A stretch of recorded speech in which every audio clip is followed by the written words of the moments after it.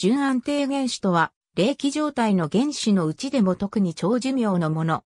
規定状態の原子に外部から光などのエネルギーが与えられると、安定軌道の電子が高い軌道へと遷移を起こし一時的に高いエネルギー状態となることがある。これが冷気である。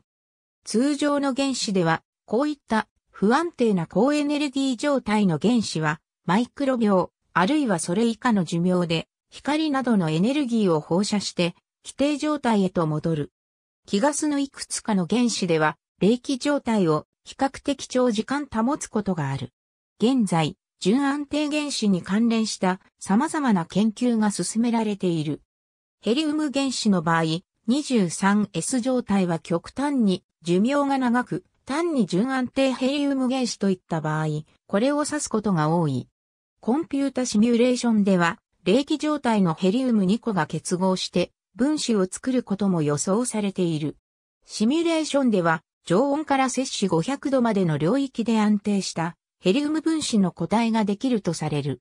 このような高エネルギーを内化解する原子や分子は、これ以上の高温では、冷気状態を維持できずにエネルギーを放射して、規定状態へ戻ろうとするため、大きなエネルギーを放つと考えられている。